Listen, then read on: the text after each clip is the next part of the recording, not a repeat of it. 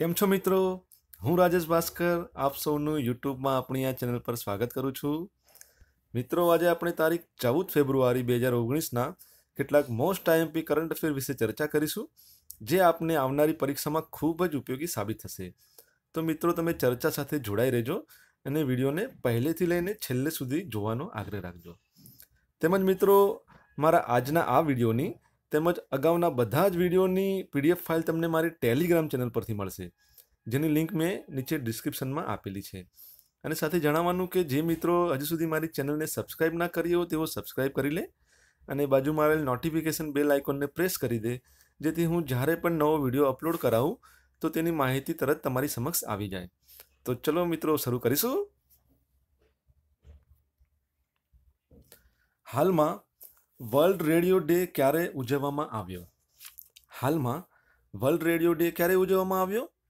તો તમારી પાસે ઓપ્શન છે એ બે ફેબ્રુઆરી, બી ચાર ફેબ્રુઆરી, સી આઠ ફેબ્રુઆરી અને ડી તેર ફેબ્રુઆરી. તો મિત્રો, આનો જવાબ છે ડી તેર ફેબ્રુઆરી. તો આનો જવાબ રહેશે ડી તેર ફેબ્રુઆરી. તેર ફેબ્રુઆરીના રોજ વર્લ્ડ રેડિયો ડે ઉજવવામાં આવ્યો. તો મિત્રો, ફેબ્રુઆરી મંથની શરૂ વાત થઈ છે. તો જણાવી દઉં કે બે ફેબ્રુઆરી હતો, તે કયો દિવસ હતો? બે ફેબ્રુઆરી, તો બે ફેબ્રુઆરી હતો, તે વર્લ્ડ વેટલેન્ડ ડે હતો. ત્યારબાદ ચાર ફેબ્રુઆરી, તો ચાર ફેબ્રુઆરી હતો, તે વિશ્વ કેન્સર દિવસ હતો. ત્યારબાદ આઠ ફેબ્રુઆરી જોઈએ, તો આઠ ફેબ્રુઆરી રાષ્ટ્રીય કૃમિ દિવસ હતો. તો મિત્રો, ફેબ્રુઆરી મંથમાં તમારે આટલા દિવસો યાદ રાખવા. વર્લ્ડ રેડિયો ડે છે તેની થીમ છે ડાયલોગ ટોલરન્સ એન્ડ પીસ એટલે કે તેને ગુજરાતીમાં આપણે કહી શકીએ સંવાદ, સહનશીલતા અને શાંતિ. તો આ વર્લ્ડ રેડિયો ડે બે હજાર ઓગણીસની થીમ છે અને પ્રથમ વખત વર્લ્ડ રેડિયો ડે બે હજાર બારમાં ઉજવવામાં આવ્યો હતો અને યુનેસ્કોએ આ જે વર્લ્ડ રેડિયો ડે બે હજાર ઓગણીસ છે તેની આઠમી આવૃત્તિ ઉજવી છે. અને યુનેસ્કોએ આ વર્લ્ડ રેડિયો ડે ઉજવ્યો છે, તો યુનેસ્કો, યુનેસ્કોનું ફૂલ ફોર્મ તમને આવડવું જોઈએ. તો તેનું ફૂલ ફોર્મ છે, United Nations educational scientific and culture organisation. ફરીથી જોઈ લઈએ. United Nations educational scientific and cultural organisation. તો યુનેસ્કોનું વડું મથક ક્યાં આવેલું છે? પરીક્ષામાં અવારનવાર આ પૂછાતું હોય છે. તો યુનેસ્કોનું વડું મથક આવેલું છે, ફ્રાન્સમાં. અને તેની સ્થાપના ક્યારે થઈ હતી? તો તેની સ્થાપના થઈ હતી સોળ નવેમ્બર ઓગણીસો પિસ્તાલીસ અને તેની સ્થાપના લંડનમાં થઈ હતી યુકેમાં પરંતુ અત્યારે તેનું વડું મથક ફ્રાન્સમાં છે, પેરિસમાં. તો આ સવાલોમાંથી તમારે આટલું યાદ રાખવું. હાલમાં કઈ જગ્યાએ પીએમ શ્રી નરેન્દ્ર મોદીએ રાષ્ટ્રીય કેન્સર સંસ્થા દેશને સમર્પિત કરી? હાલમાં કઈ જગ્યાએ પીએમ શ્રી નરેન્દ્ર મોદીએ રાષ્ટ્રીય કેન્સર સંસ્થા દેશને સમર્પિત કરી? તો આપના ઓપ્શન છે A Gujarat, B Maharashtra, C Haryana અને ડી દિલ્હી. તો મિત્રો, આનો જવાબ આવશે, આનો જવાબ આવશે સી હરિયાણા. હાલમાં હરિયાણામાં નરેન્દ્ર મોદીજીએ રાષ્ટ્રીય કેન્સર સંસ્થા દેશને સમર્પિત કરી. તો મિત્રો, હરિયાણામાં કઈ જગ્યાએ કરી? તો હરિયાણામાં ઝાંઝર જિલ્લાના ભાડસા ગામે કરી છે.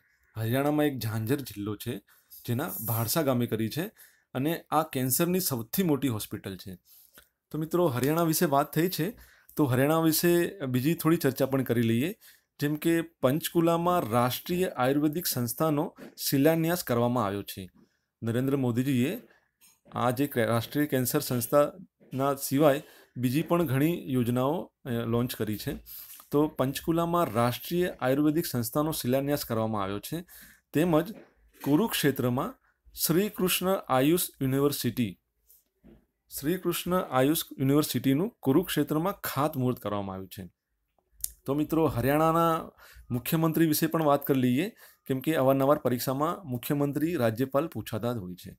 તો હરિયાણાના મુખ્યમંત્રી છે મનોહરલાલ ખટ્ટર.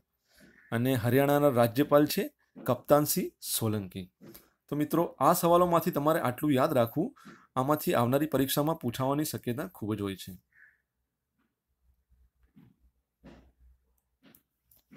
હાલમાં રાષ્ટ્રીય ઉત્પાદકતા સપ્તાહ બે હજાર ઓગણીસની ઉજવણી ક્યારે કરવામાં આવી? હાલમાં રાષ્ટ્રીય ઉત્પાદકતા સપ્તાહ બે હજાર ઓગણીસની ઉજવણી ક્યારે કરવામાં આવી છે? તો તેનો જવાબ છે ઓપ્શન સી. ઓપ્શન સી આપણો અહીંયા જવાબ રહેશે બાર ફેબ્રુઆરીએ.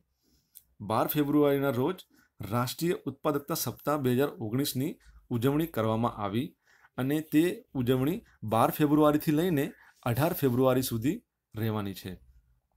અને આ જે રાષ્ટ્રીય ઉત્પાદકતા પરિસ્થિત છે તેની આ એકસઠમાં સ્થાપના દિનની ઉજવણી છે. અને તેની થીમ શું છે તે જોઈ લઈએ. તેની થીમ છે ઉત્પાદકતા અને સ્થિરતા માટે નિયમિત અર્થતંત્ર. ઉત્પાદકતા અને સ્થિરતા માટે નિયમિત અર્થતંત્ર. તો તમારે આ યાદ રાખવું. હાલમાં વીવીઆઈપી કાર્યક્રમ કોણે લોન્ચ કર્યો? હાલમાં વીવીઆઈપી કાર્યક્રમ કોણે લોન્ચ કર્યો? તો આપણા ઓપ્શન છે ઈસીઆઈ બી છે નીતિ આયોગ, સી છે કૃષિ મંત્રાલય અને ડી છે આમાંથી કોઈ પણ નહીં. તો મિત્રો, આનો જવાબ રહેશે એ ઈસીઆઈ ઈસીઆઈએ હાલમાં વીવીઆઈપી કાર્યક્રમ લોન્ચ કર્યો. તો મિત્રો ઈસીઆઈ વિશે વાત થઈ છે, તો ઈસીઆઈનું ફૂલ ફોર્મ શું છે? પરીક્ષામાં આવો સિમ્પલ સવાલ પણ પૂછાઈ શકે છે. તો ઈસીઆઈનું ફૂલ ફોર્મ છે, election commission of India. Election commission of India. તો ઈસીઆઈનું full form election commission of India છે. તો વીવીઆઈપીનું ફૂલ ફોર્મ શું છે? વીવીઆઈપીનું ફૂલ ફોર્મ શું છે? તો વીવીઆઈપીનું ફૂલ ફોર્મ છે voter verification and information programme ફરીથી રિપીટ કરું છું. Voter verification and information programme મિત્રો, અહીંયા વોટર એટલે વોટર પાણી નથી. પણ મતદાતાવાળું વોટર છે. W O T E R છે. એટલે તમારે યાદ રાખવું. Voter verification and information programme. તો ઈસીઆઈ વિશે ચર્ચા થઈ છે. તો આપણને મુખ્ય ચૂંટણી કમિશનર વિશે ખ્યાલ હોવો જોઈએ. તો મુખ્ય ચૂંટણી કમિશનર આપણા અત્યારના કોણ છે? તો તેઓ છે સુનિલ અરોરા. સુનિલ અરોરા છે. તેઓ આપણા મુખ્ય ચૂંટણી કમિશનર છે. અને તેઓ કેટલામાં નંબરના મુખ્ય ચૂંટણી કમિશનર છે? તેવું પણ પરીક્ષામાં પૂછાતું હોય છે. તો તેઓ ત્રેવીસમાં નંબરના મુખ્ય ચૂંટણી કમિશનર છે. તો આ સવાલમાંથી તમારે આટલું યાદ રાખવું, આવનારી પરીક્ષાઓમાં આ પૂછાવાની શક્યતા ખૂબ જ છે.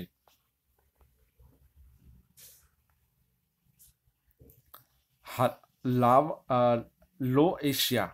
Law Asia human rights conference બે હજાર ઓગણીસનું આયોજન ક્યાં કરવામાં આવ્યું?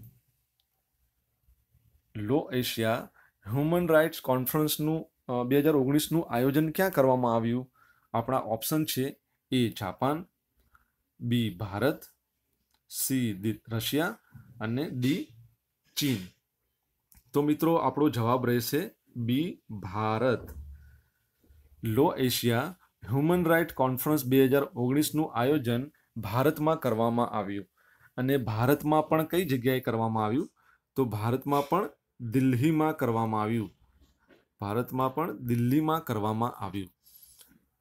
તો law Asia human right conference છે તેના વિશે થોડું જણાવીશું કે તેની આ વખતની થીમ શું હતી. Law Asia human right conference બે હજાર ઓગણીસની આ વખતની થીમ હતી state power, business and human rights, contemporary challenges.